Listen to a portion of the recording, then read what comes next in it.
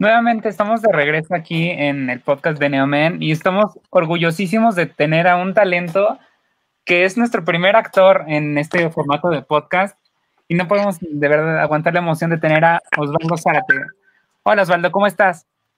Hola Alfredo, muchas gracias, muy bien y muy contento de estar aquí en tu programa. Muchas gracias por la invitación. Eh, justamente ahorita andábamos viendo, terminando uno de los capítulos de De Hurtas Nada, que es tu más reciente estreno. Cuéntanos acerca de él. Súper, pues mira, estoy muy contento de estrenar esta serie de De Brutas Nada, que viene obviamente eh, pues en un formato premium, en un formato eh, súper profesional que, ya, ya, estamos viendo en, en, Amazon, aparte del éxito que ha tenido, pues normalmente obviamente Amazon, estas plataformas nuevas, pues siempre tienen eh, pues proyectos que sean de alta calidad, ¿no? Entonces es 100% mexicana, aunque te puedo decir que más bien es latina porque está lleno de mucha gente de varios países como Colombia, Argentina, dentro no nada más del elenco, sino también eh, la manufactura, ¿no? Bueno, y también la manufactura viene de Sony Pictures de Estados Unidos, quienes son los que invirtieron en hacer este proyecto y después ya lo pudieron vender ahorita a, a Amazon Prime y pantalla. Fíjate que en Estados Unidos eh, tenemos la posibilidad de estar en pantalla y bueno, pues con, un exitazo en estas dos plataformas, ¿no? Ya que justamente que la calidad habla por sí misma, que ahorita estábamos leyendo eh, reseñas, estábamos viendo eh, perfiles de Instagram y la gente está muy contenta con esta serie porque justamente habla la calidad por sí misma, ¿no? Y justamente eh, eh, en tu trayectoria te has encontrado también con que estás en la quinta temporada de la exitosa serie de televisión 40 y 20. Cuéntanos qué tal les ha ido. Sí, exacto, pues contentos de estar en esta serie, obviamente, porque pues ha sido un exitazo, ¿no? Todo, yo creo que todo actor busca tener una serie eh, pues que le llegue a todo el público, una serie del cual yo creo que ya los personajes y como tal la serie está súper aprobada, no nada más en México, sino en toda Latinoamérica, ¿no? los personajes ya son del público, estamos muy contentos de que pues eh, tenemos nuevas temporadas, la quinta y la sexta, porque pues sí, te soy sincero, todos estábamos esperando esta quinta y sexta, ya que teníamos probadas cuatro temporadas, las cuales desde hace cuatro años no sale del aire en Televisa a las 11 de la noche. Y bueno, pues con la nueva noticia, Alfredo, de que ahorita no nada más eh, va a ser un día a la semana, sino van a ser tres días a la semana, 40 y 20 a partir de esta semana. Martes, mm. jueves y viernes, todo diciembre, vamos a ver la serie, la quinta temporada, capítulos de estreno.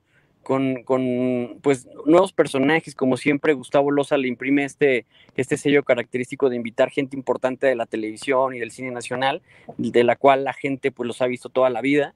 Eh, contentos de que todos los actores y actrices pues quieren estar en esta serie y bueno, pues yo formar parte del elenco principal, pues para mí de verdad es un triunfo y, me honra porque puedo llegar a, a, muchos pueblos, a muchos ranchos en donde la gente, tú sabes, pues no tiene oportunidad de contratar o de pagar por una plataforma de streaming, entonces pues estoy contento de que, de que puedo seguir al aire en televisión abierta y que nunca se va a terminar, ¿no? Que había esa incertidumbre de que por, la tecnología, el internet y esto, yo te lo puedo decir, no creo que termine la televisión y ahorita pues está en un muy buen momento porque pues dentro de lo malo de la pandemia podemos sacar que la gente está en casa y qué bueno que lo hacen y pues darles este entretenimiento y más que son programas de comedia, ¿no?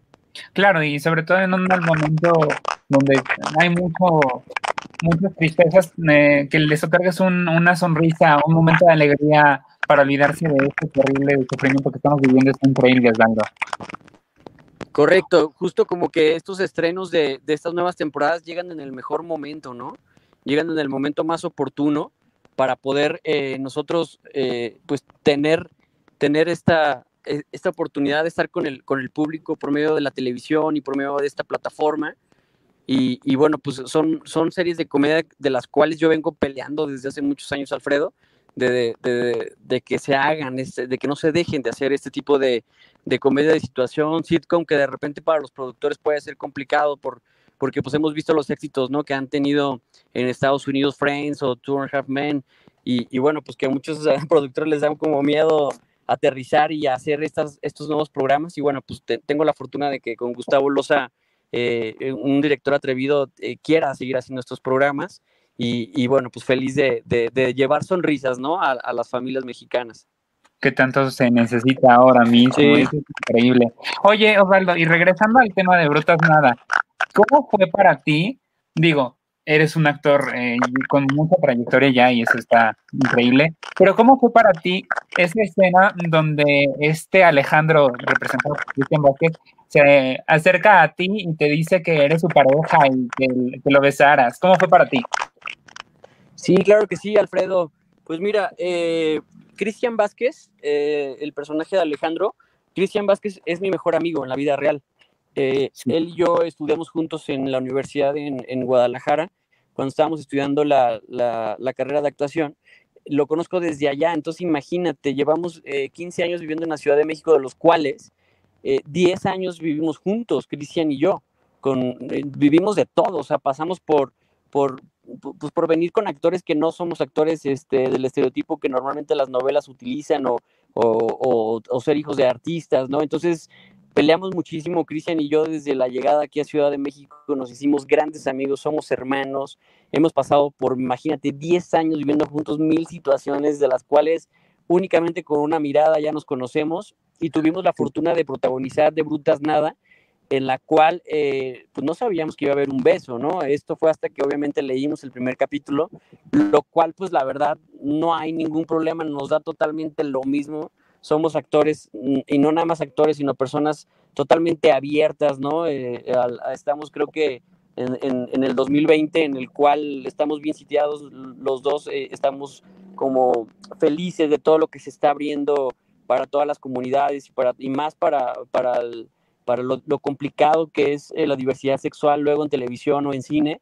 Así que nosotros, la verdad, te soy honesto, lo disfrutamos muchísimo. Fue un besote que, que los dos estábamos sellando nuestro amor de, de amistad, el cual eh, lo hicimos siete veces. Eso sí, mira, lo tengo hasta, hasta contadito, hasta la, hasta, la nalguita me agarró el Cris, entonces me agarró, ya fue de, así de bastante cariño, ya le tenía que este, yo, ya, yo dar una, pues, de, no de quítate para allá, pero no, no te creas, no, de verdad felices de, de poder hacerlo con respeto también, creo que fue, fue con mucho respeto el, el, el pues, por medio de, de, una mentira, ¿no? Porque él, pues, quería lograr su objetivo de irse a vivir con, con la protagonista, eh, está el beso y la verdad es que cero confusión de, de, nada, al contrario, fue una felicidad enorme y hasta lo presumimos en las redes, ¿no? Este, entonces, muy contento de esa escena. Eso está increíble. Se nota el, amor de hermanos que, tienes con este Cristian. Y ahora, Osvaldo, una pregunta enorme. Te estuvimos stalkeando un, un ratito y eh, vimos que eres director de 111 Agency. Cuéntanos acerca de eso. Claro que sí. 111 Agency es una agencia que nace hace cuatro años en la Ciudad de México para poder eh, no nada más eh, ayudar a los nuevos talentos, que es donde los chavos, a mí me tocó hace 15 años llegar a Ciudad de México y tardé 7 años en agarrar un manager. Yo lo que quería era eh, ayudar a los, nuevos talentos mm, por medio de una agencia que yo tenía antes que se llama Casting House, que la sigo teniendo, en la cual nos empezaron a pedir chavos para, para, nosotros tenemos Casting House para comerciales, nos pedían chavos para, para cine y televisión. Entonces mi socio Ramón Montes de Oca, pues él estaba ocupado en otras empresas, entonces yo me encargué de, llevar a cabo esas audiciones porque las, las, eh, los canales como, como Nickelodeon y Disney siempre buscaban talento juvenil y veían que Casting House era la mejor agencia de este país, ¿no? Entonces yo me encargué como de descubrir talentos nuevos y llevarlos a, a, Net, pues ahora está Netflix, este Yankel Esteban, pero Sebastián Atié estuvo tres años protagonizando 11 en Argentina. Eh, para Disney, eh, Stefan Olivier estuvo en, en, Miami protagonizando Vicky RPM para Nickelodeon. Entonces, fíjate que muy contento de poder ahora llevarlo a este proyecto, esta agencia aprobada en México, llevarla a Guadalajara, ya que yo vengo de allá y hay una escasez de agencias y de escuelas eh, de las cuales tú puedas entrar y tener un buen entrenamiento actoral con una agencia que te represente, pero para proyectos de grandes ligas, porque existen nada más como para una onda local y no tienen a un director que a lo mejor lo puedan ver vigente en la televisión, en el cine, sino que son muchos directores que pues ya fueron formados hace muchos años eh, y la televisión y el cine la verdad es que todo el tiempo va cambiando, ¿no? Entonces, pues estamos revolucionando Guadalajara, haciendo totalmente algo nuevo, ¿no? con un entrenamiento actoral y con una agencia que los pueda representar. Gracias a eso tengo muchísimos socios comerciales aquí en la Ciudad de México, de los cuales nos mandan casi a los chavos.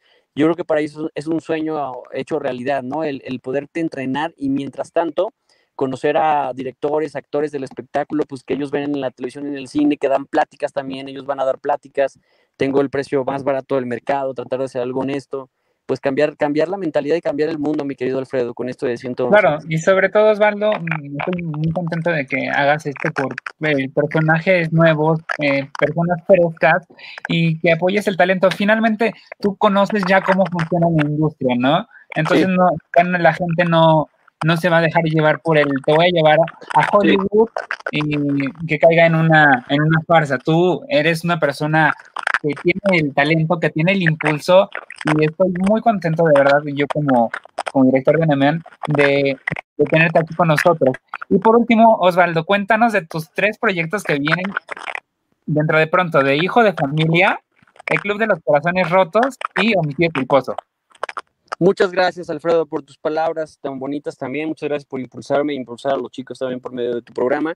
Y claro que sí, son tres películas de las cuales, pues, una ya tenía salida en cines para este fin de año, pero bueno, por la pandemia ya se va a retrasar, que es El Club de los Corazones Rotos, en la cual estoy feliz porque protagonizo la película junto con grandes amigos míos como es Yari Santana, que la vimos en, en una película con Omar Chaparro en Netflix este año. Luego está Paco Rueda, que, que todos lo conocemos por, por, todas las películas. Es un gordito que lo quieres y lo amas y es un gran actor. Y bueno, pues Juan Pablo Gil, ¿no? Que, que viene del, del, ser nuevo gran de las novelas eh, juveniles, ahora se viene al cine.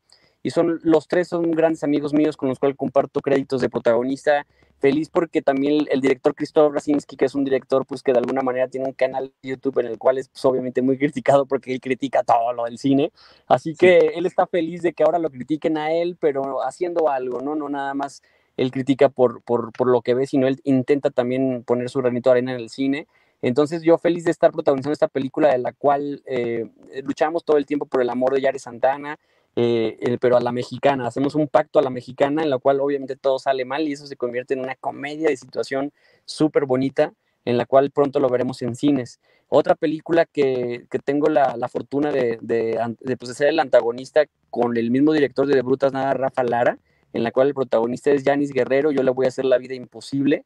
Es una película que se filmó en Guadalajara y pues eso también nos da un realce para apoyar al talento y, y, a la gente de Jalisco, ¿no? Con la nueva ley de filme Jalisco que Rodolfo Guzmán está llevando a cabo y me toca a mí apoyar desde mi lado como actor el poder llevar pues ya a lo mejor 15 años de trayectoria, ser uno de los actores que ahorita ya está protagonizando series a nivel internacional, eh, una de las nuevas caras del cine mexicano. Entonces llega esta película Hijo de Familia y la tercera película que también es de Jalisco y también la protagoniza con mi mejor amigo Cristian Vázquez, en la cual te prometo que no habrá besos con él, sino, sino, algo más. Ah, ¿verdad? Y todos así de ya quiero verla. sino, no, es una película muy padre porque los dos eh, somos pues parte de los hijos de, de Jalisco, ¿no? Como los, las nuevas caras que somos Cristian Vázquez y yo, como la nueva cara de la nueva generación de actores que, que, estamos triunfando en la Ciudad de México y en proyectos internacionales.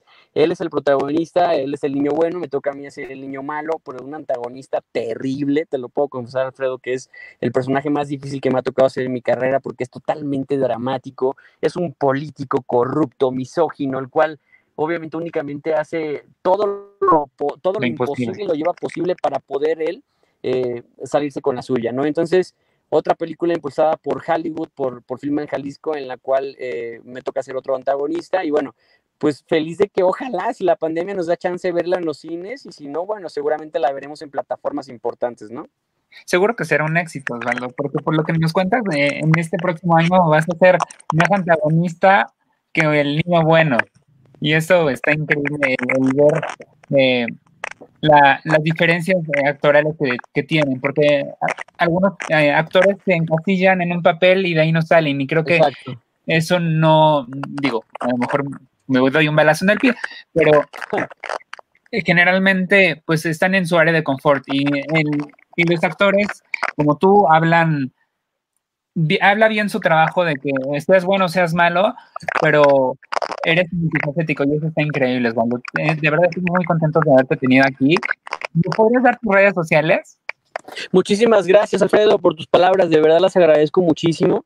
Y claro que sí, con muchísimo gusto. Fíjate que soy de los pocos actores que contesta todos los Instagram. Ahí, ahí publico mis fotos y, bueno, yo siempre estoy este, al tanto de quienes están comentándome, tratar de darles unos segundos, unos minutos ahí de conversación. Entonces, Estoy como arroba soy Osvaldo Zárate. Con, U, con W. Ajá, soy arroba, perdón, arroba soy Osvaldo Zárate con W y con Z. Ajá.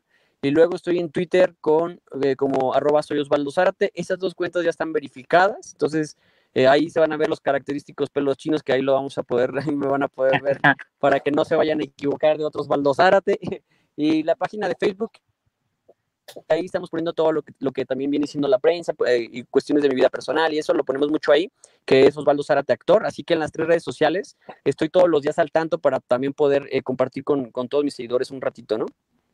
No, hombre, Osvaldo, de verdad estamos muy agradecidos de tenerte aquí con nosotros, que nos hayas dado unos minutos de tu majestuoso tiempo, porque sabemos que eres un actor 360 y estás trabajando siempre. Y de verdad estamos muy emocionados de haberte tenido aquí y esperamos pronto volver a tener, tenerte dentro de alguna de nuestras editoriales el próximo año y estaríamos contentísimos de que en un futuro nos volviéramos a encontrar para que nos compartieras de tus proyectos. Claro que sí. Te agradezco mucho, mi querido Alfredo. Gracias a ti por, por también de tomarte el tiempo de platicar conmigo, de poderte eh, eh, explayar un poquito más los proyectos. Y será un honor el próximo año volver a estar en tu programa con nuevos proyectos y cosas que queramos platicar. Por mí, este, yo estoy feliz de la vida de, compartirlo contigo y con todo tu hermoso público que te escucha, que te está viendo y que, y que de alguna manera pues, nos están checando todo el tiempo y que somos, somos los nuevos del medio artístico, así tanto como tú como yo, que vamos a estar ahí siempre eh, ayudándonos ¿no? en, en, esta, en estas bonitas carreras. Y dándole duro. Muchas gracias, Osvaldo, por haber estado con nosotros, de verdad. Muchas, muchas, muchas gracias y esperamos que el próximo año eh, tengamos muchas buenas noticias aparte de, de, tus próximos estrenos, que, tengan, que todavía tengas muchos estrenos, más estrenos y que esté lleno de trabajo para ti, Osvaldo. Muchas gracias. Gracias, Alfredo. Te mando un fuerte abrazo y espero verte pronto. Saludos a todos. Gracias.